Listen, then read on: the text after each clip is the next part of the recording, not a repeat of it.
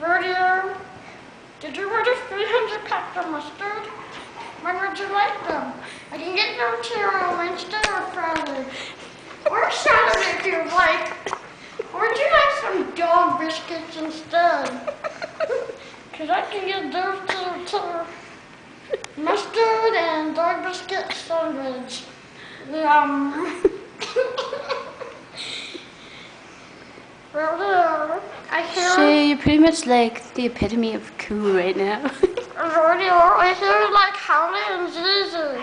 You can't cheat on them. You have to choose one. Just one. hey, I'm not cheating on me. Do you I ain't like- cheating on me. Do you like Cheez Whiz rodeo? we can get you some Cheez Whiz. Yeah, we can like. get some cheese rolls. Some cheese rolls would be Or how about some hot rods?